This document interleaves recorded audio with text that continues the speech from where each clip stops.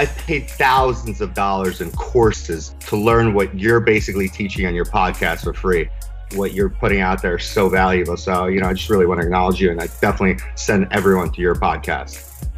You were virtually one of the first mentors that I looked up to and started following. You're always one step ahead of the game. So I just wanted to give you kudos and props for that because lots of people are watching, lots of people are learning from it. Tucker and the whole TTM crew, Dan and Chris, thanks so much for your support. I love what you guys do and a huge, huge fan. Having this support's huge. So I'm grateful for that.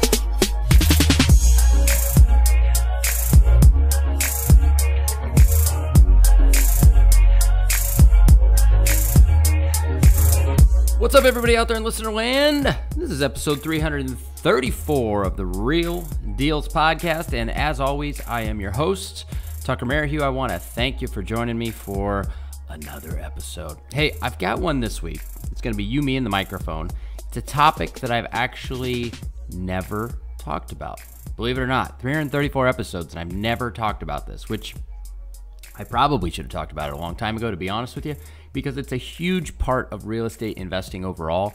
I know it doesn't make it into the conversation these days with kind of the quick money side of real estate, the active income component of real estate investing, whether it be flipping, wholesaling, wholetailing, um, you know, rehabbing, building. Uh, you know, a lot of the times that's an active money component or an active income component.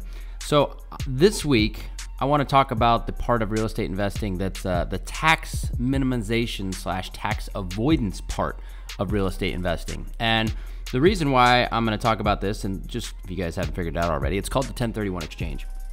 And the reason why I'm going to talk about this um, this week is because I'm in the middle of doing one myself. And uh, I figure it's very relevant. It's timely. I got my closing statements. I got all the costs itemized. I've, uh, you know, taken a real deep look at this business uh, or the business that surrounds a 1031 exchange and I got a lot of ideas and I got a lot of um, feedback and input that I want to give you guys. Um, and maybe you'll walk away uh, from this show with, uh, you know, a, a, gazillion dollar idea I'll plant in your head at the end of it. So stick around for that, and uh, I know you guys are going to dig it. Now, before we get into this week's show, God, we've had a lot going on. It's been a busy, busy week since uh, the last time uh, I talked to you guys. I took a week off last week. We just had a lot going on um, to be totally honest with you. And sometimes it's just it's hard to get a show out with uh, running a real business here and doing all the projects that we have and, and the different business adventures that we have um, and different irons in the fire. But last week was a really cool week for us, um, kind of off the show. Um, we had uh, a couple fine gentlemen come into town, um, Elliot and Cole, who are my partners in the uh, Call Magic uh, cold calling company.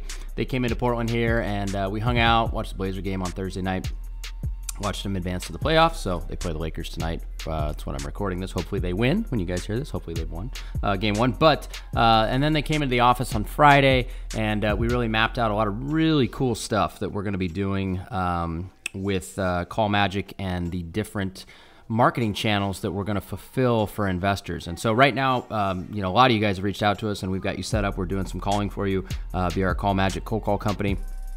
But we've got a lot of really other amazing things on the horizon that we're going to kind of package with the cold calling that we're going to do for people. So one of those is uh, we're going to be doing texting for you as well. We're going to manage the leads. And then we're going to just kind of kick through the ones that um, are worth following up with and kind of actually having a conversation with. And so we're going to be doing that in conjunction with the cold calling. And we're also going to be able to send out your uh, RVMs for you as well or give you a platform where you can execute those in addition to getting your text leads and your cold call leads. So we're building out this super cool thing. Fortunately, Cole is much smarter than me when it comes to technology, and so he can take my crazy ideas and he can make them a reality for you guys. So anyway, that's what's coming down the pipe. We're probably I don't know maybe a month or two away from having that platform set up so that we can kind of fulfill other marketing channels for you guys as well. But in the meantime, if you guys want uh, to get some cold call going or cold calling going uh, for your business to really supercharge the amount of leads that you have coming into it, uh, make sure to uh, reach out to us uh, and go to callmagicleads.com and uh, book a call. Elliot will hop on with you and he'll explain everything that you need to know about data, number of callers, cost, um, who you should be calling, just everything, right? So make sure you go there and check it out. Uh, we'd love to uh, start calling for you and, and, generate a lot more leads for your business. So uh, that's what's coming. That's what's going on there. Uh, this week, as I said, I'm dealing with my own 1031 exchange, um, which has got me thinking a lot, and that's why I'm going to do this show. But bigger than that, uh, uh, something that's been kind of building for the last five years, actually. And for many of you guys that are friends with me on Facebook, you probably saw the video that I posted yesterday where I was standing on site with our actual building permit. Uh, it's taken five years, but we finally got the building permit issued uh, on our view out project that looks over Lake Oswego. You know, a lot of people were posting in the comments like, why in the world would it take that long? And you know, to be totally honest with you, I don't have a great answer other than the fact that it involved neighbors, it involved a ridiculous lawsuit, it involved uh, the city, and it involved uh, the geotech game, which now I am very privy to on how those geotechs operate and how they like to deflect any risk at all. And uh, I just had to learn all that stuff and deal with all of the BS in the middle. And you know, it ended up taking five years. But we're here now, and the positive part is, is that uh, after I record this with you guys um, this afternoon, I've actually got a call with uh, a buyer for the lot in the house, so it may be sold already, which uh, is the silver lining, I guess, in this whole thing. But anyway, big week for us uh, on many fronts, uh, that being one of them. So that's uh, pretty much the, the stuff that I want to mention about me. Um, other than that, I do have some housekeeping items, though. Some things that I wanted to mention uh, real quick. Our Negotiating with Sellers 2.0, many of you guys that are on our email list, we released the new version of this training. I know it's been around for about four or five years, eh, maybe five years now. And so the information within it is still as valuable as it was the day that we released it in terms of how to negotiate with sellers, how to get prices out of people, how to structure your conversations, um, how to structure your negotiations. Uh, but we added to it and we filled in uh, the different lead types that are now available in our space, right? When we first started that training, there were no ringless voicemails, there was virtually nobody doing cold calling. But now that there is, we need to make sure that we have training for you guys to really understand how to maximize those leads, how to do those callbacks, how to connect with those sellers, how to bridge the gap, how to get them to know who you are and why you're calling them, right? So we released our Negotiating with Sellers 2.0.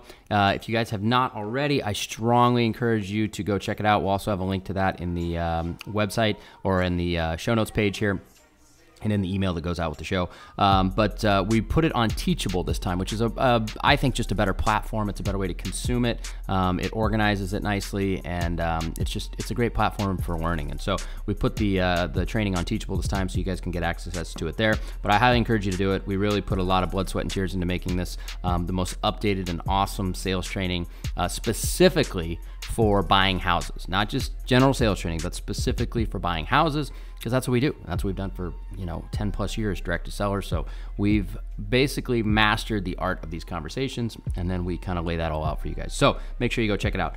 Um, other than that, uh, D4D app users, hey, if you're using the app, um, we've got uh, new skip trace pricing. Uh, it's much lower, and uh, we can get that knocked out for you. So make sure you reach out to us about that. Um, if you're an app user and you're using um, the just list building feature, where you can build as big a list as you want with just property addresses, you can then take those property addresses, and, ultimately we can skip trace them for you for uh, cheaper than anybody in the market right now because we've got a new data contract. So we want to be able to pass that savings on to you. So keep an eye out for those emails and reach out to Dan uh, if you want some skip tracing done because we can basically beat anybody's pricing at this point. Um, last but not least, our DFA. We got a lot of great people in there, folks. Um, you know, the guys that came here last week, both in DFA. Um, there's just God, there's like 122 odd people right now, I think, in the DFA. All fantastic people. So if you're interested in kind of a group mastermind setting, you want to have more access to myself. Um, you know, I hop on and talk to people whenever they need it. I'm in there every single day. So is Chris. So is Dan. So is everybody else. Um, we'd love to have you. And it's been around for going on uh, since 2004. 14, I think. So six plus years, going on seven years. So we must be doing something right, guys. So reach out to us. We'd love to make you a part of that community. We'd love to get to know you and your business a little better. And the best part is it's only 199 a month. So for a mastermind group, it's as cheap as you're going to find, and we give as much value as you're going to find. So, anyway, we'd love to hear from you. So, that's pretty much what's going on with me. Those are the housekeeping items. So, without further ado, let's get into the show and let's learn all about 1031 exchanges and the opportunities surrounding them. All right, Real Dealz podcast listeners, I want to talk quickly about our show's sponsor, Ironbridge Lending. If you guys have not reached out to Ironbridge already to talk to them about funding some of your upcoming flip projects, I highly encourage you to do so. I've known the owner of Ironbridge for a very long time. I've personally borrowed millions of dollars from them over the years to do a number of different projects, and I can say without a doubt they are the best hard money lending company I have ever come across, and that is the reason why they are the sole sponsor of this show. I've had a lot of other companies reach out to me and want to sponsor this show, but I just won't do it. I feel like I need to be genuine in who we have sponsoring the show, and it needs to be somebody that I've personally done a ton of business with. So I personally vouch for their ability to be the best, hands down, in the world of hard money lending. You won't find better programs, you won't find better terms, and they're lending or will be lending in over 20 states. So chances are, if you're hearing this in whatever state you're in, it's definitely worth it to check out their website, reach out to them, see if they're lending in your state, and if they are, I would absolutely encourage you to do business with them. Another very cool thing to note is that they have a program for most rehabs where you can actually borrow up to 90% of the purchase price. Now, this is given the fact that you are actually buying a deal, which, if you're listening to the show, that means you probably are. But if you have an actual deal on the table, they'll fund up to 90% of your purchase price, and they'll even give you rehab funds on top of that, which means that it only takes 10% down to get into a project, which is unbelievable in the hard money world. So, do yourself a favor, reach out to Ironbridge Lending, have a conversation with them, see if they're a good fit for you and for your next project. I can guarantee you that you'll be happy that you did. All right, everybody, it's main topic time. And this week's main topic, as you heard in the intro and you probably saw for the uh, tagline for this episode, we're going to talk all about a 1031 exchange. And, you know, ultimately, this is a, uh, a tool that a lot of investors get to eventually. It's kind of as you start to climb the real estate ladder.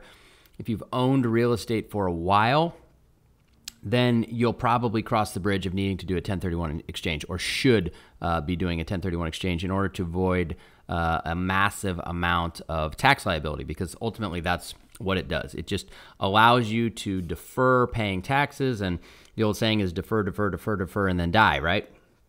It's kind of a morbid saying, but ultimately you're trying to defer paying any of the depreciation that you've taken against the real estate that you own. And then once you die, uh, you know, it's there's the step up uh, cost basis or whatever they call it, where basically all that depreciation that you took over the course of your lifespan goes away. And then you can pass that real estate on uh, at a stepped up value to your next of kin, and they don't have to pay all of that uh, depreciation that you've accumulated over the years. So, for example, um, the house that I am selling uh, this past week, or I have sold now by the time I recorded this, uh, I've owned it since 2006 is when I bought it. Not the best time to buy it. It was kind of at the top of that market cycle. But it was in a good part of uh, town here. It was actually about two minutes from the office. And so it was one that uh, I just held through. Uh, we'll call it the the shit, right? Uh, 2008, 9, 10, 11. Um, and so I just held it and I rented it. Rents were pretty low.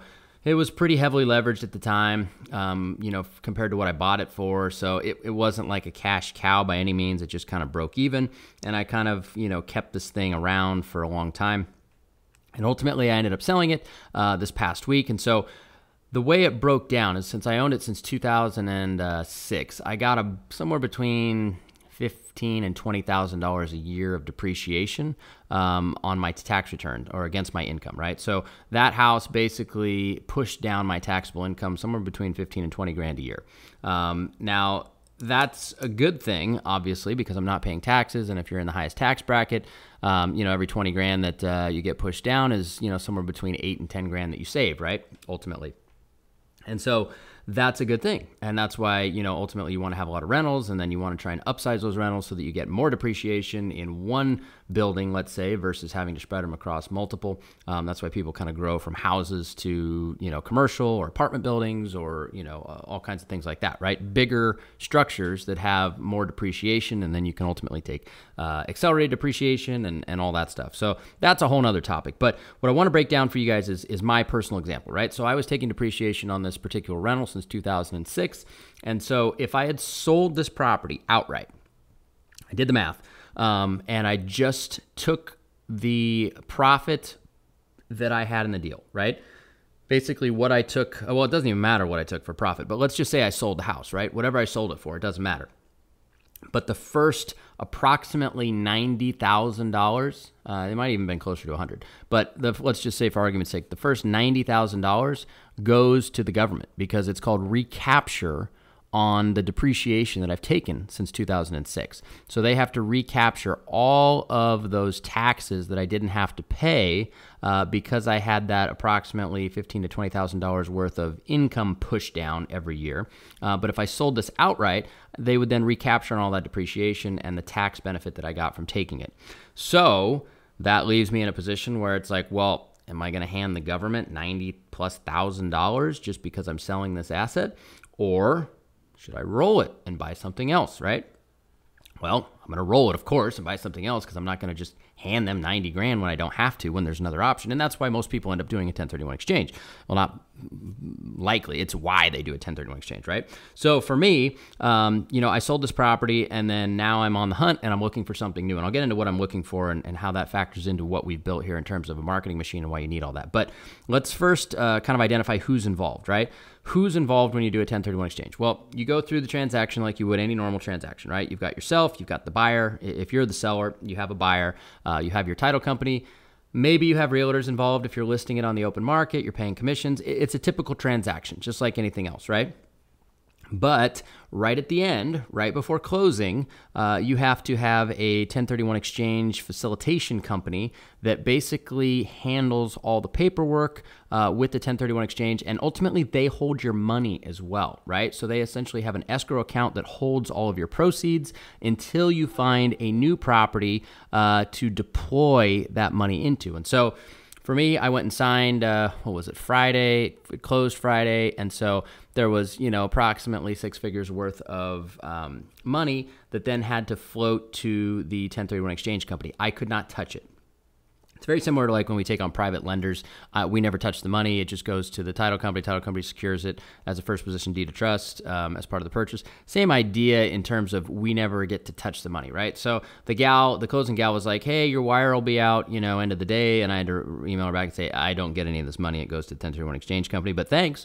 And she was like, "Oh, okay. Well, I'm not sorry. The wire doesn't go out then, right?" It was a little joke, but point is, is that that money, all that money from the sale, goes to the 1031 exchange company, and they hold it in an escrow account and wait for me to purchase something new. Now, one of the questions that people often have, and, and I did too because this was uh, the first time that I've done one myself, is what what's the cost, right? Uh, beyond what the process. And, and, the process was super simple, by the way. We just basically gave them the contract, the title report um, for the property that I was selling, and then they generated the 1031 exchange documents. They sent those to closing. I signed those. Uh, but within those, it had the pricing of approximately what a 1031 exchange costs on the facilitation side for these companies. And the total cost for selling and then rebuying is somewhere between 1000 and 1500 bucks. So really pretty minimal. Um, I thought it was going to be a lot more, to be totally honest with you, uh, but it wasn't. It's only about a thousand to fifteen hundred bucks to sell a house and buy a house. Now, if you're buying a more complex asset on the other side, I think they raised the prices slightly. But for argument's sake, let's just go apples to apples and house to house here in terms of what we're selling, what we're buying. So somewhere between a thousand and fifteen hundred bucks, which is totally reasonable. And obviously, these 1031 exchange companies are just operating purely on volume, and that's how they're making their money. But it's a pretty simple deal for them. They just you know hold money and send money. That's really all they're doing, and then they make a thousand to fifteen hundred bucks in the interim and, and do some you know boilerplate paperwork and kind of report to the IRS and where's needed or where is needed. But uh, they basically hold your money and then they redeploy it. So you then have to go find something to buy, right? That's the next. Um, challenge. That's the part that I always thought, wow, that there's an opportunity there. There's something there, or there's a big challenge there, right? Anywhere there's a challenge, there's an opportunity. And so the average person doing a 1031 exchange right now, because I'm, I'm trying to look at this, you know, from our perspective, we have this marketing machine, we have all these opportunities we're looking at for flip, build, redevelopment. Rarely do we look at them from rental perspective here because the numbers just don't generally make sense if you're coming out of pocket for the whole thing that you're going to buy. Now, if you're rolling money from a previous sale, it's basically money you've accumulated that you can't do anything else with. It changes the dynamic of the rental game here because you've got this basically this big chip that you can you know use and apply towards any purchase and you're not coming out of pocket. You have to apply that chip towards a new purchase. So most people you know, right now we have inventory 1.2 months, right? So a lot of people are selling things and then they have to go buy something, right? And so it's tough. It's really, really tough for them to find inventory to buy. And that's that's the biggest challenge. I mean, it's a huge challenge for them because ultimately what they end up doing is they end up just buying inventory that's okay and that's it. And there isn't any real built-in margin. Um, a lot of times they're up against the clock, and they're just trying to, um, you know, satisfy, you know, the the time constraints on a 1031 exchange, and that's it.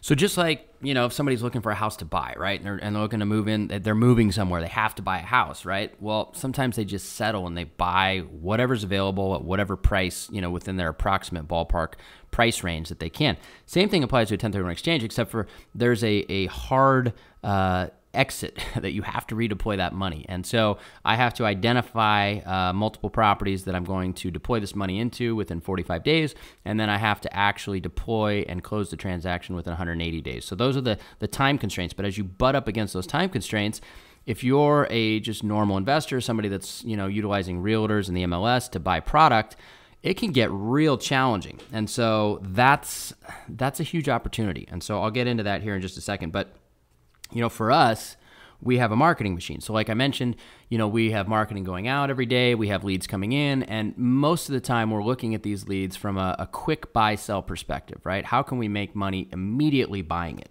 Um, but when you have money to roll via 1031 exchange to reinvest, you can kind of look at stuff from a slightly different perspective, right? Um, I heard a quote once, and I thought it was a really good quote. It was, uh, you know, deals uh, are kind of like uh, haircuts, right? I think that was how it went. Anyway, um, you know, it, it, just depends on uh, how long. Uh, well, I forget it. How long it goes to how good of a deal it is, right? So basically, if you're looking at a deal from a perspective of, you know, immediately you need to make money from it, you look at it from a very different lens than you know if i'm looking at this for like a year right? A year turn what can i do with this?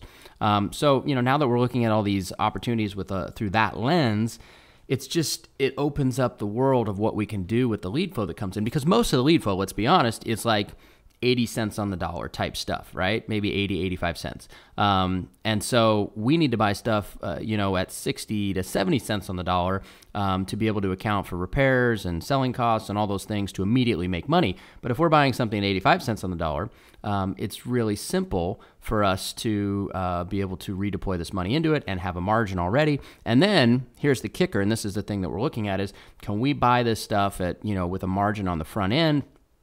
And then look at it from a redevelopment perspective down the line. So then there's even more of a, a value bump as we kind of head into the future, right? We see where the path of progress is, um, and we kind of take that into account. So you start to look at things a little bit differently. So that's the cool part. But here's the idea, right? Um, here's the idea that I think I had this a long time ago, but now that I'm in this, um, we're really starting to try and put rubber to road here and make this happen. But you know, we're buddy buddying up with the 1031 exchange company that's doing this for us. But they have a ton of clients, a lot of people that are trying to redeploy money, and virtually all of those people are having a hard time placing money. Right? Most of them are going to end up buying an investment property at 100 cents on the dollar of what the market will pay for it. Not the greatest redeployment of money, but they have to, otherwise they might owe 100 grand in taxes like I do or more, right? And so the business model, the thing that we're going to do here is basically try and provide inventory for those types of buyers, those very, very motivated buyers that have money that they need to deploy. And so that's kind of our next uh, adventure here with you know, let's call it 85 cents on the dollar, maybe even 90 cents on the dollar uh, product that people will buy because they're looking at it through a different lens, right? They're, they're looking at it from the lens of they need to redeploy money and they just want to buy something that's a good value, right? Doesn't have to be an amazing value, but a good value. So, anyway, there's your gazillion dollar idea for the day. If you can figure out how to do that in your market, you probably have, uh, you know, look at yourself as an incubator for 1031 transactions, right? You generate the leads you tee up the deals and then you hand them off to very motivated buyers which is you know essentially what uh, a lot of these bigger wholesale operations do in terms of finding the most motivated buyers. But these are not flip buyers. They're more like uh, rental long-term hold buyers uh, but they've got free money that they got to roll. So think about that. Let that sink in. Hopefully one of you guys out there takes that idea and runs with it. So that's um, what we're going to be doing. Uh, one thing i did want to mention right now though is that there are some challenges on the back end with the 1031 exchanges right now and with investors because you know, earlier this year, there was this thing called non QM money, and it was falling from the sky. It was super easy to get uh, if you had good credit uh, and you had assets that you could basically roll as a down payment into a purchase. It was stated income, it was credit only, asset verification, and boom, you were done. It was that simple. And you got pretty good rates. The rates were in the fours, um, which most people gladly traded to not have to go through all of the conventional bullshit that goes into getting a loan.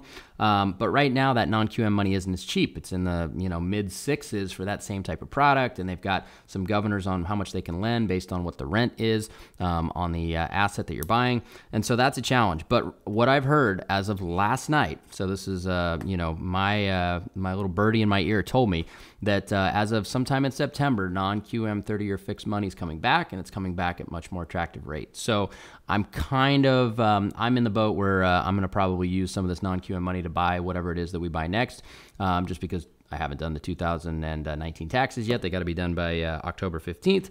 Um, and I'm not sure how much I want to show the government either that I made this year. So I got to figure all that out. But uh, I'm going to be probably using non QM money, especially if it comes back down um, significantly in terms of rates. But that's the one challenge on the other end of this. But once that gets worked out, which I think it will towards the end of this year, I think the um, you know the market for investors buying up property again is going to be fluid, and uh, they'll be happy to buy stuff that's off market that just has a little bit of margin or, or an opportunity attached to it beyond you know having been on the market and everybody and their mother bids on it and they pay more than everybody else because nobody wants to be in that situation. So anyway, 1031 exchanges are great. I'll just summarize here. Um, you know, for me personally, I'm avoiding about ninety to hundred thousand dollars worth of tax liability on one single family rental um, by rolling this. And for us, you know, we're looking at trying to buy something that I can rent and then ultimately we can either fix up afterwards and sell for a much larger margin, um, or we can redevelop and uh, I can buy it out the property uh, by the development company from myself. Maybe we'll see how legal that is. I might have to kind of do something in between, uh, but we're looking to try and buy something with future redevelopment opportunity attached to it as well, if possible, and uh, that would be the ultimate win because then I could turn this thing over in a year and we could generate a much bigger margin on it than just sitting on it and principal pay down and gradual appreciation. And then you kind of roll these bigger chips quicker and quicker and quicker. And that's kind of the 1031 exchange game. If you have a marketing machine attached to your business and you can generate these types of opportunities. So, anyway, that's this week's show. Uh, I'm pretty excited about it. It's a new facet for us. I've known about it, obviously. I've seen a lot of people do it, but once you start doing it yourself, you kind of get into the weeds a little more and you kind of see the details for what they are. So, anyway, that's this week's show. Hopefully, you guys enjoyed it. We got a lot of stuff going on. If we can help you guys in any way, whether it be with our mastermind, our cold calling, our negotiating, our driving for dollars app, whatever it is, uh, make sure you reach out to us. Go find that stuff. Use it, folks. We put our blood, sweat, and tears into making those the best that we can, and uh, really trying to serve the investment community uh, the best that we can. And uh, now that we're 334 episodes in, hopefully you guys believe that. All right, folks, that wraps up this week's show. I'll see you all